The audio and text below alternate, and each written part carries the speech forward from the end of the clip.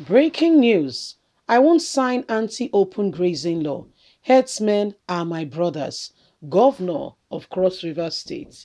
I mean, my people, Ben, his name is Ben, in case you are wondering. That's the governor of Cross River State. Since he joined the Buhari's uh, tray, since he joined the Fulani tray and he left his party, okay, he was once in the People Democratic Party. All of a sudden, they promised him that they are looking at, they are looking for, uh, you know, states that are not so prominent to become, you know, president. And maybe they, they, they told him that uh, he's the potential candidate and he joined the wagon, the wagon of hopelessness. You can see. Start joining the the wagon of hopelessness. I mean, it's not as though uh, Cross River State has not gotten his own fair share of the Fulani herdsmen atrocities, farmlands, people being killed with evidences and um, you know reports being there but you know he has to take side with the new territory he has come to uh, you know uh, tag along with. He has to show to them that um, indeed and truly he belongs to this group and uh, will not want to do anything uh, you know against the group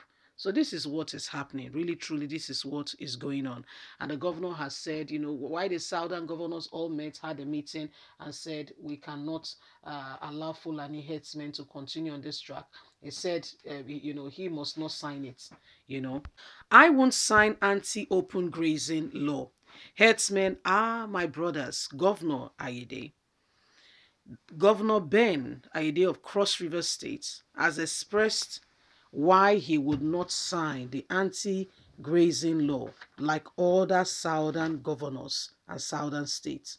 They explained that the anti-open grazing law already passed by some states might lead to war in Nigeria. He said so he wants to ensure that there is no such thing and so he will stay with what is on ground and manage the situation.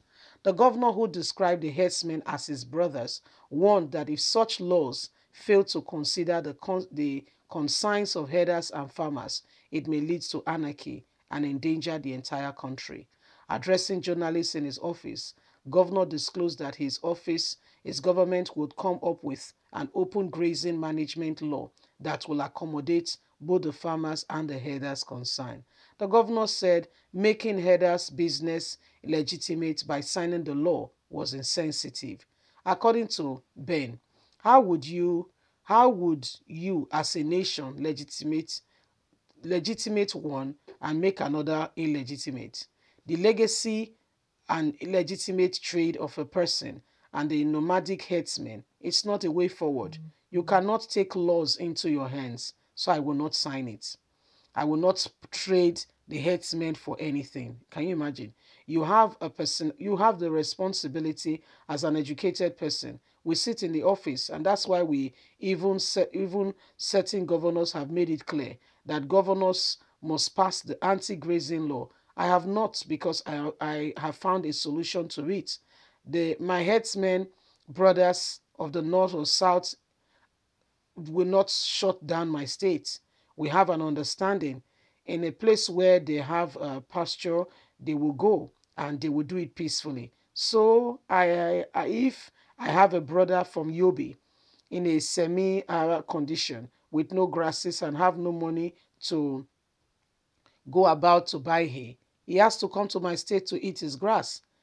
Well, I will make the business legitimate, shut down and close, shut down and close all others. No, I will ensure that I open door for him because he's my brother. That is being sensitive. So what I think the other people are doing may lead this country to anarchy and may bring about potential war if care is not taken. So this is the governor of Cross River State, Ben, and he says he feels that um, the southern governors are not being sensitive to the plight of the uh, of the headers. Uh, they are allowing the headers to suffer by the law they are making and so as a result, he wants to do something quite different. He wants to ensure that the headers feel part of his administration. And he gave an example of a Yobe uh, Fulani herdsman who wants to come and graze his cattle in Cross River State. That if there is no gra grass in, in, uh, in, in, in Yobe, they have to come to Cross River to graze. You know, he said he has found a solution. And that solution is that the people will abide by the law. You know, where there is no law, there is no sin. Uh, where you have not... Um, put things in place that make people aware that this is the this is this is the this is where the line is drawn. This is how far you can go. People can do and undo. Okay so if the governor has found a solution well all well and good and we celebrate him for finding the solution.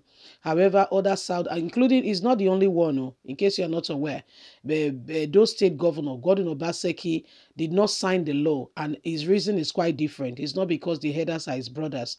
He said that how will he implement the law?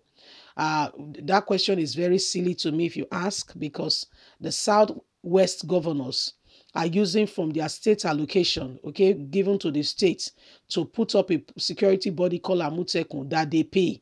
So this has served as employment to some people. However, the governor of Edo State do not want to touch the money because he's saving the money to take to the afterlife, which will give him access to, you know, eternity. He's saving the money, okay? If there's anything like that, he's saving the money and so does not want to, you know, make anybody you know save the money for the state so that um, being a, a, a be, having had the opportunity to be a governor he can really have a major you know a major share in the afterlife because he has you know he has done well. So these are things we are experiencing. These are things going on right now. These are part of the things we are experiencing. People you thought you thought you know mean well for the people. Sadly they do not.